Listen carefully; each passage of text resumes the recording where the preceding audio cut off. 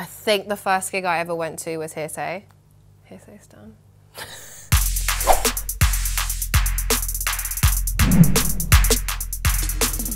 Hi, I'm Rina Sawayama and this is my first.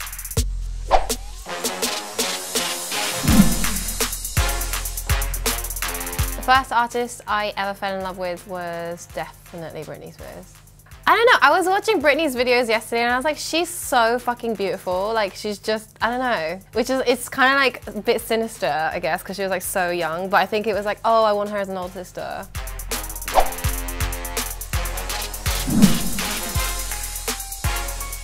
The first CD I ever bought, I was so cool. Oh no, wait, maybe it was City High. Whoa, that makes me look so cool. Actually, City High was not cool, were they?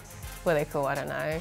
I think it was What Would You Do by City High. It was either that or Hear'Say. So it's like very different.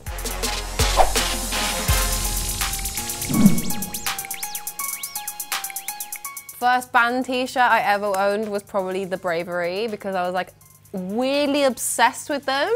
Yeah, that was not cool. I was not cool. I'm still not cool.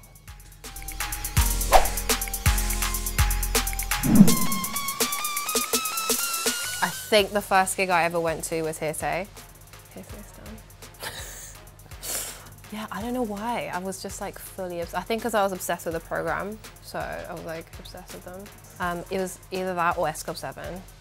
And the girl I came with, like, had she had to leave, so then I had to leave because the sound was too loud. I was like, oh, was so lame.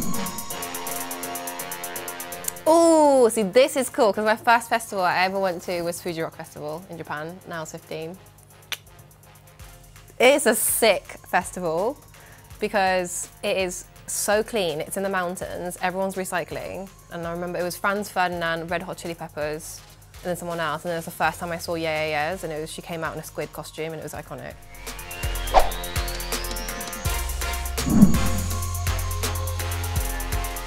The first full song I finished writing, I think was Sleeping in Waking, which I released in like 2013, but it's like I've like buried it and the only person that listens to it, that insists on listening to it every time I go in the car is my best friend Chester. He like plays it every fucking time I go in the car and I'm like, stop, it's like haunting me. Um, but I thought it was really cool because like the whole song's in like three fourths beat. Um, I reckon that was the first song I finished and I was like, yeah, let's make like shoot a video for it, which you shouldn't do. You should just wait and get uh, better.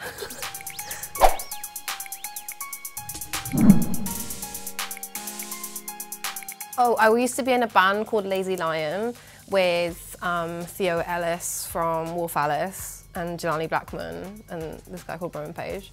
Um, and we used to do like, yeah, we used to do like Camden like small venues. Um, but my school had like a church attached to it. So I used to like perform in the church every like Monday, not every, it was like every month or something. But it was like 800 people. It's like quite big.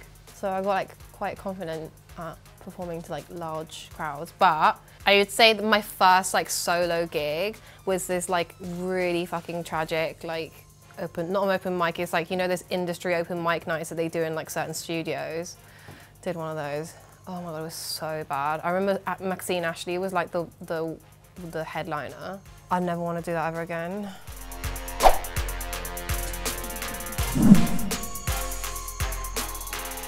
The first time I had my song on the radio was um, we'd just finished headlining the garage and then we were in the van, all of us, and driving back to my house and then Cyber Stockholm Syndrome was playing. So I thought someone had playing on their phone, like, because we all watch videos of the gig after the gig, so I thought that was it, and then someone was like, wait, wait, wait, wait, where's that playing from? And then we like turned up the radio and it was on the radio. It was fucking surreal.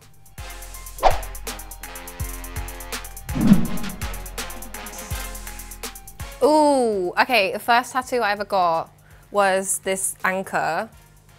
Um, oh my god, I was just saying that like tattoos you get when you're a teenager like is never good, like ever. Who has got a tattoo when they're a teenager and it's been like, oh yeah, it's my favorite tattoo? Like no one.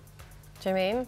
That's why at you should always get tattoos when you're at least 20 don't get it when you're super young because you always get stupid stuff.